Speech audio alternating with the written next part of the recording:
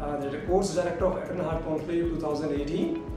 I would like to invite you all for the great academic event of this year from Eternal Hospital in collaboration with the Mount Sinai Hospital USA is going to organize EHC 2018.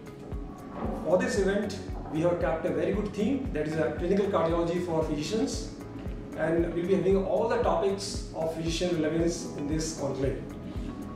And for this EHC 2018, we're having six top-notch international faculty from USA.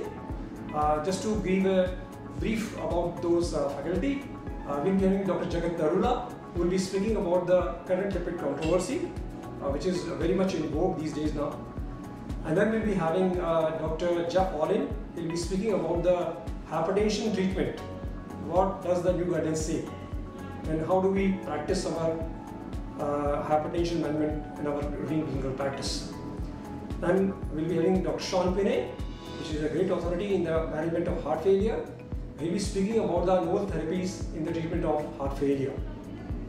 And then we'll be having Dr. Usman Baber from Mount Sinai USA. He'll be talking about current antidote therapy management for the treatment of acute coronary syndrome. This is also very much important in the routine clinical practice of the patients.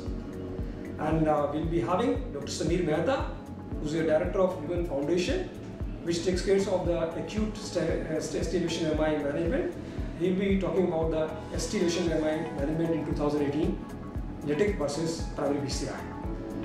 So we'll be having a whole glimpse of the clinical cardiology topics in this meeting and I'm looking forward to see you all for this great academic event that is Eternal Heart Conclave 2018 and just to remind the date is 28th of October 2018 that is Sunday which is very convenient for all of you to attend.